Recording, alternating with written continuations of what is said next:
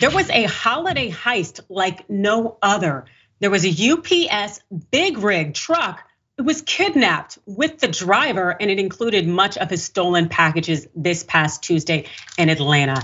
Let's talk about what this attack looked like the attack unfolded at about 3:30 a.m. Eastern when the UPS truck was stopped at a traffic light and a gunman got into the vehicle, police said. That assailant then forced the UPS employee to drive to a secluded area where the suspect along with others tied the victim up and stole cargo from the tractor trailer, according to Atlanta PD. It wasn't until the 18-wheeler was reported overdue that the company used GPS to track down the truck and found the driver uninjured inside the trailer and called law enforcement at around 9:15 a.m.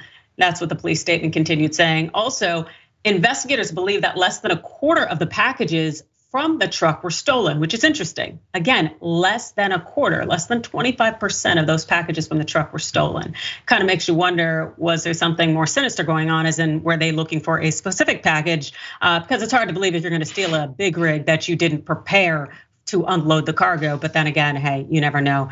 What we do know is that Atlanta Police Sergeant Jarius Daugherty said that the driver wisely complied with all the suspect's demands. There's no amount of property out there worth possibly having your life taken. Yeah, no, that just it doesn't necessarily even seem wise. It just seems commonsensical. The fact is, I'm a UPS driver. I don't need to protect that cargo. It's not my personal stuff. There is no way in the world I'm gonna put my life on the line for someone's, I don't know, like Huggies diapers being delivered or something like that. So as far as I'm concerned, as a truck driver, sure, I'll pull over here. Go ahead and take it. Do what you need to do. Jackson. Yeah. So uh, what was interesting about this is you don't really see this type of uh, sophistication in organized crime these days as much as you used to. Uh, just because of how much the power the Fed has. And as you know, RICO laws have changed, 97% conviction rate in the court system, technology that doesn't really allow people to sneak around.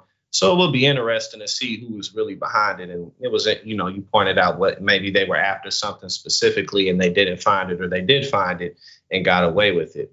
So, you know, again, it's interesting from that perspective. And, you know, no one got hurt. So these people obviously really knew what they were doing. You know, they weren't just petty street criminals uh, to really pull something this sophisticated off. So it'd be I'd be interested to see just who it was in general and what they, you know, like who was behind it if they can figure it out. Yeah, seriously, because I couldn't imagine stealing a big rig. I couldn't even imagine driving a big rig. So I'd like to think that these people did have some planning in mind, but in the event that they didn't, uh, I'm sure they are not necessarily uh, savvy enough not to get caught, and we should be hearing about that soon.